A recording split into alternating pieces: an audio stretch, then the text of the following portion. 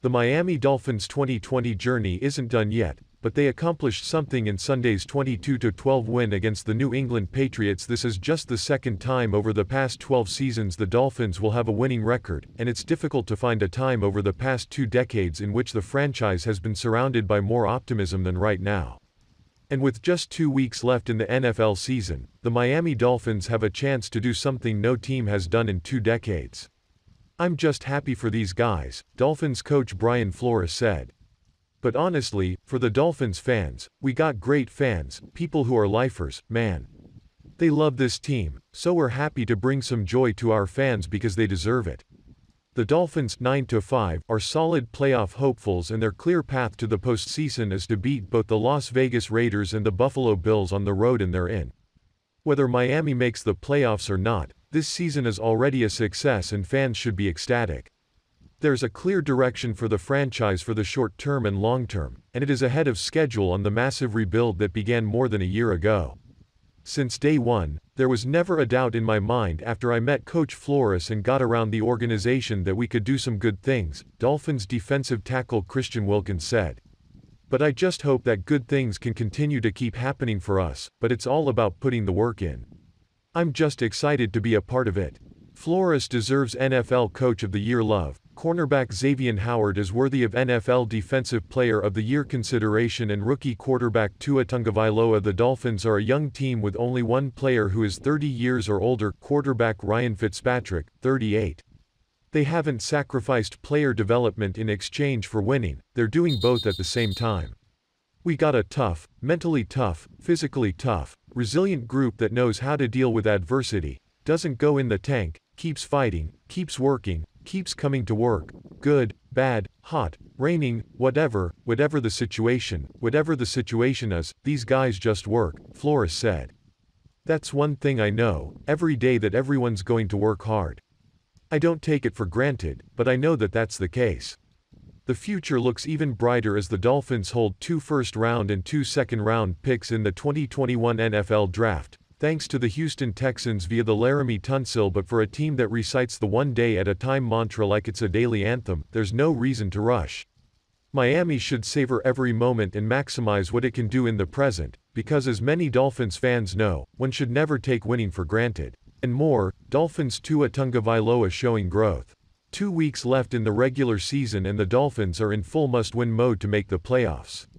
It's not exactly a place one would expect to be in with a 9-5 record and two games left in the season but, thanks to the strength of the AFC, that's where things stand. Still, the fact that the Dolphins are here at all in the second season under Brian Flores is a testament to what the coach has built. Reporters CBS, who was on the broadcast for last week's win over the New England Patriots, says the way Flores approached the team from the jump helped them build to this moment. I think this all started last year when Brian Flores didn't care about tanking for Tua. He just put in what he wanted, what he demanded from players, coach to win. They saw that, said Davis. The biggest thing is you play because you can't fool the people in the locker room. They know if you are competing and they know if you're pulling back on the reins. Once they bought in and realized this as a coach that's competing went all out. Now you carry that over to this year. Makes the big move with Tua when he doesn't have to. But, the beauty is, he did it and he still demanded the same thing. I'm not doing it because we're rebuilding, I'm not putting him in for the future, I'm putting him in because we can win now.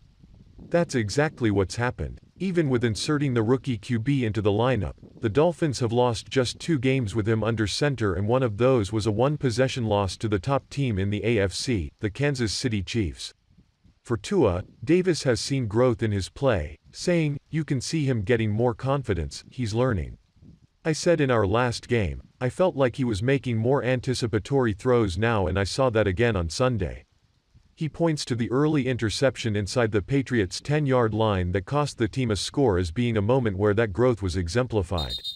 I also saw him make a big error inside the 10-yard line going in and then he came back later in the game and in a very similar situation, similar situation, similar pass rush, he darts into the end zone. I called it artificial intelligence, where you learn from your lessons and get better the next time. That's what he is showing right now and it's a big deal, said Davis. That the team's ground game has begun to pick up steam with over 100 yards in three of the last four weeks and 250 yards Sunday against the Patriots. That development is one that has Davis intrigued by their playoff potential. The biggest thing for them is they ran the heck out of the ball which we have not seen, said Davis. That offensive line with three rookies is built to run the football and they're starting to learn how to move people. I like that to go with that defense which likes to take the ball away. They are very aggressive ballhawks. Of course, a playoff berth is not a given. The team has to travel to Las Vegas this week for a Saturday night battle against the Raiders who are fighting for their own slim playoff hopes. As mentioned above, the Dolphins likely have to win out to assure themselves a playoff spot. The Ravens, right behind them in the wild card picture, have games against two under .500 teams left in the Giants and Bengals. If both teams finish 11 to 5, the Dolphins get the final spot. If they, if they lose one and Baltimore sweeps their final two, Miami comes up just short. As Davis puts it, their sledding is a little bit tougher you would think on paper than Baltimore's. The Dolphins are also hoping to maybe get some help from the Steelers, though that help may be on rocky ground after Pittsburgh's Monday night loss to Cincinnati. The Steelers face the Colts and Browns the next two weeks and if Pittsburgh were to win those games, and Miami wins their last two, they could vault to the fifth seed at 11-5. But, if they lose those games, the Dolphins are left with fighting for that seventh spot and facing a likely third matchup with division foe Buffalo. 3. Can Dolphins make it historical? With just two weeks left in the NFL season, the Miami Dolphins have a chance to do something no team has done in two decades. If things work out in their favor, the Dolphins could become the first team since 2000 to end the year with a playoff berth and a top 3 pick in the NFL draft. Thanks to the trade that sent Laremy Tunsil and Kenny, Kenny Stills to Houston back in August 2019, the Dolphins were able to acquire the Texans' first round pick in 2021, among other things. If the season ended today, that would mean that the Dolphins would be getting the sixth overall pick from Houston. If that ends up being the pick, the Dolphins would certainly be fine with that, but the crazy thing is that there's a chance Miami could end up picking even higher. The Texans are playing the Bengals this week and if Cincinnati somehow pulls off another upset, that would put the Texans on track to earn the third overall pick, which would then go to the Dolphins.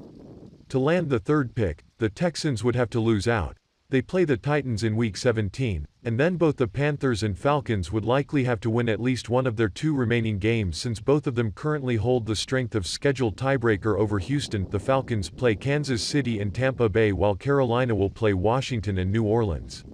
As for the playoffs, the Dolphins actually control their own fate. If they win their final two games over the Raiders and Bills, they'll make the playoffs no matter what else happens around the league. Getting to the playoffs in a season where you also land a top 3 pick is almost unheard of. The last time it happened came in 1999-2000 with during the 1999 season, Washington got into the playoffs by winning the NFC East with a 10-6 record. As for the draft, they actually had three first-round picks the following offseason. Washington went into the 2000 NFL Draft with the second overall pick, the 12th overall pick and the 24th overall pick their original pick. Like the Dolphins, Washington landed its two higher picks through two trades. They acquired the 12th pick in a deal that sent Sean Gilbert from DC to Carolina. As for the second overall pick, they got that during the 1999 draft when the Saints decided to trade up to the fifth spot to land Ricky Williams. In exchange for giving up the fifth overall pick, the Saints sent eight picks to Washington, including their first, third, fourth, fifth, sixth, and seventh round selections in 1999 along with their first round and third rounder in 2000. The Saints ended up finishing the 1999 season at 3-13, which gave Washington the second overall pick, which they used on LaVar Arrington. Arrington. Washington would also end up picking third that year after trading its two first-round picks 12th and 24th and two other picks to San Francisco. With the third overall spot, they ended up selecting offensive tackle Chris Samuels. What this all means is that by the end of the season, the Dolphins could find themselves in a spot that few NFL teams have ever been in.